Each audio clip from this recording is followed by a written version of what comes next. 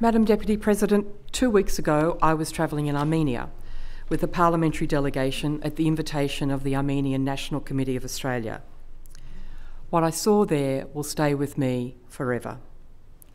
Armenia is a peaceful country, but the borders of its neighbouring ethnic Armenian Republic of Artsakh have been under constant attack for some years, and I saw the dreadful outcome of this constant tension as the Azerbaijanis rolled into Artsakh and its people fled. Its people are still fleeing, too scared to remain in their own homes. At least 100,000 ethnic Armenians have arrived in the border town of Goris. By way of scale, that's more than five times the total population of Goris, and the exodus has not stopped. I met grandmothers who had escaped with a small bag, nothing else of their former life, who hadn't eaten for days and didn't know if their sons or grandsons were alive. I met a woman whose husband and son were dead and who had fled her lifelong home in fear for her life.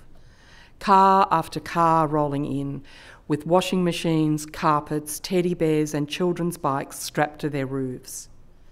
But not all cars could finish the journey. We saw a huge number broken down, petrol so scarce because of the blockade that those fleeing were resorting to using methylated spirits in their cars. They knew it would destroy the engine, they just hoped it would get them across the border. I heard of one car with petrol which towed four other cars to safety. And then there were the children, not just hungry, but also often very ill, because there has been no medicine allowed into Artsakh for quite some time and no heating oil for the winter. So children are arriving with pneumonia, high fevers, and other diseases.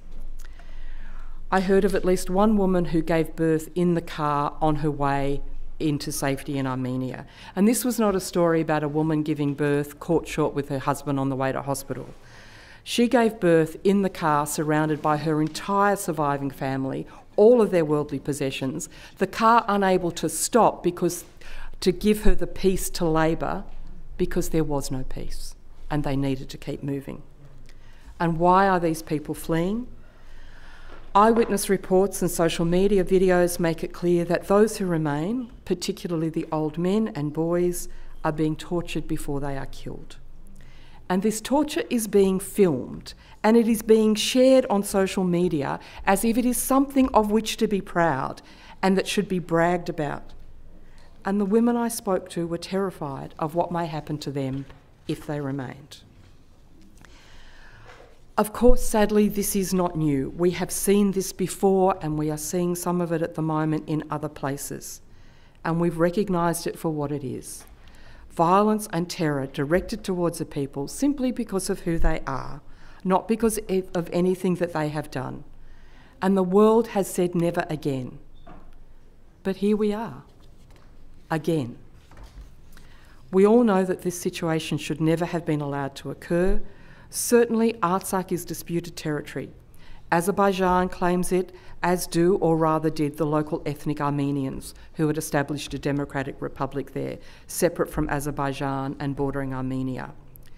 There will always be territorial disputes, and I make no claims as to the rights or wrongs of this particular dispute.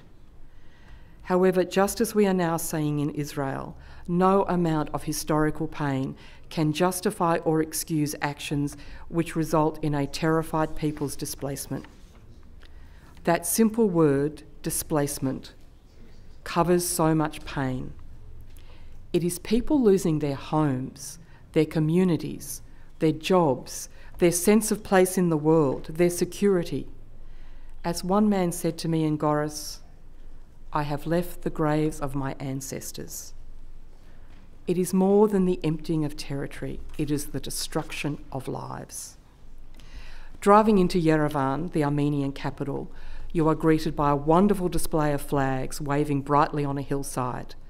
It lifts your heart after a long trip until you realise that each of the hundreds, if not thousands, of flags flutters over the grave of a soldier who has died in the recent conflicts. Madam Deputy President, let there be no more flags.